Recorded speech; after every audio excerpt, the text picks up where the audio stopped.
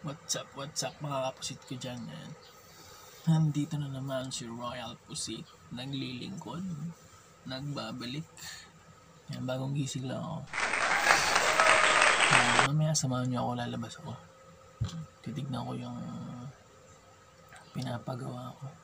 Na pinagkakabalaan ko ngayon. At lalo kong pagkakabalahan sa darating na mga araw na ito, sunod na araw. Kaya samahan niyo ako. Samahan niyo muna ako mag-toothbrush at maghilamos. Let's go!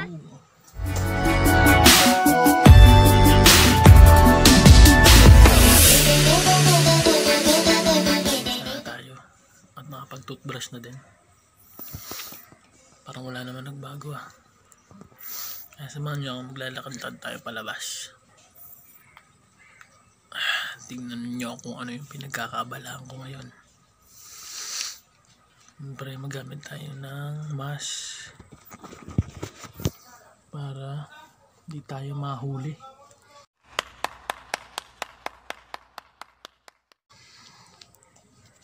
Pag lumabas kasi yung nakamas, ayan. Bawal. Obligado kang magbayad. Tara, samahan niyo ako lumabas. At asikasuhin natin yung mga inaasikaso ko.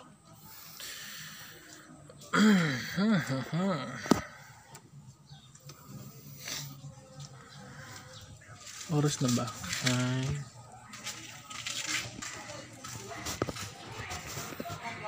Alas 8.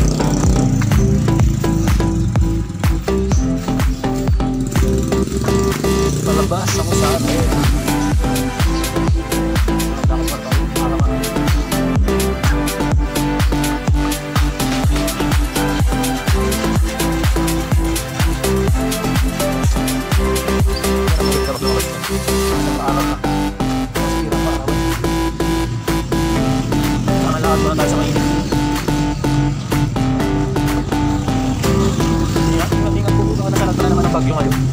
Sa parang yung people, sa, sa akin yun. eh. Malakas yung bagyo din, signal ng birthday.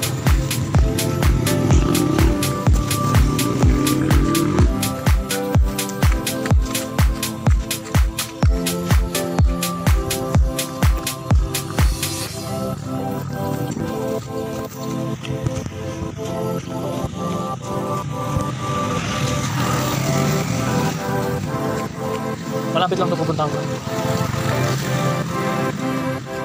Kalat yung mas, oh. Dapat yung tinatapon sa tamang baso rin kasi gamit na. Dito, di pa naman masyado maigpit. Pero, dinig-dinig ko. Wala kang mas, uhulihin ka na. Basta bumulta ka.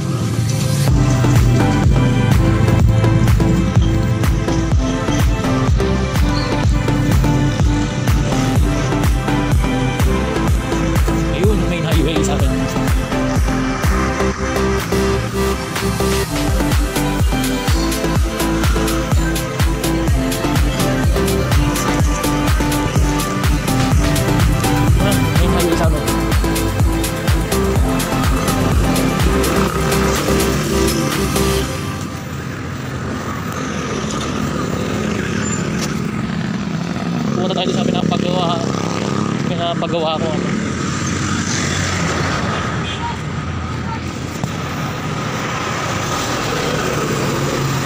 Ayan, malapit na. Sarado pa nga si tatay oh. Ayan.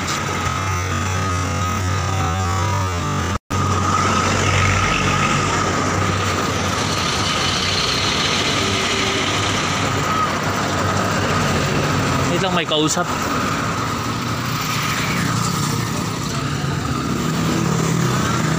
Kape, may kumagat. One hour later. Pusit, galing na nga tayo dun kay tatay. Doon sa pagawaan. Alam niyo yung pagawaan na yun, naggagawa siya ng mga cart, tricycle. Yan, nagpagawa ko ng cart para sa beef pares ko. Ayan, yung pinagkakaabalahan ko.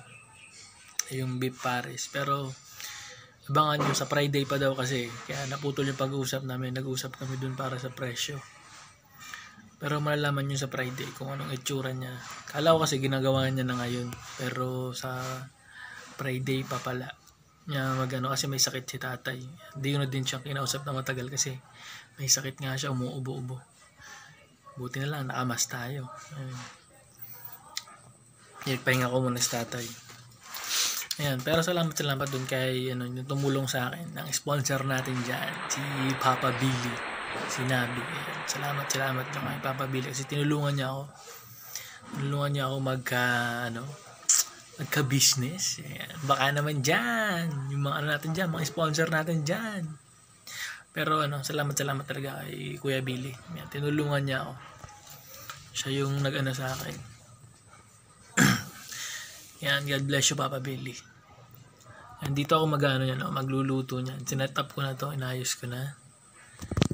Yan, naantay ko na lang yung kalan. Dito ako magluluto ng aking beef pares. Pero antayin niyo, abangan niyo kung anong sunod na mga mangyayari. Kasi sayang yung araw eh, tumatakbo, walang nangyayari.